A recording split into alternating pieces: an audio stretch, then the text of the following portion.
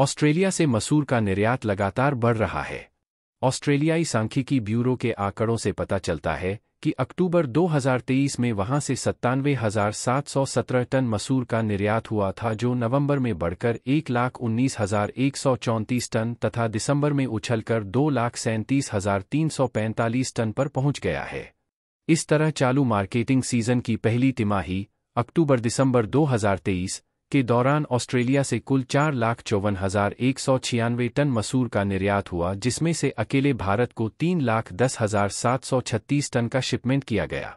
भारत ने ऑस्ट्रेलिया से अक्टूबर में उनसठ हज़ार एक सौ बहत्तर टन, नवंबर में निन्यानवे हज़ार एक सौ छप्पन टन तथा दिसंबर में एक लाख बावन हज़ार चार सौ सात टन मसूर का आयात किया है।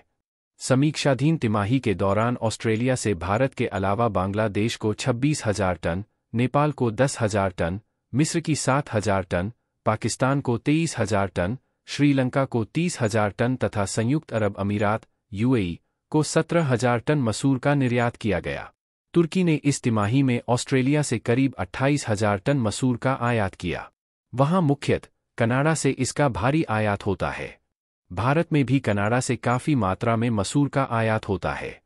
अक्टूबर दिसंबर 2023 की तिमाही के दौरान ऑस्ट्रेलिया से कई अन्य देशों को भी थोड़ी बहुत मात्रा में मसूर का निर्यात किया गया जिसमें Bahrain, Canada, Fiji, Indonesia, Malaysia, Japan, Mauritius, New Zealand, दक्षिण Korea, Papua New Guinea, South Africa, America, England, Yemen तथा जिम्बाब्वे आदि शामिल है।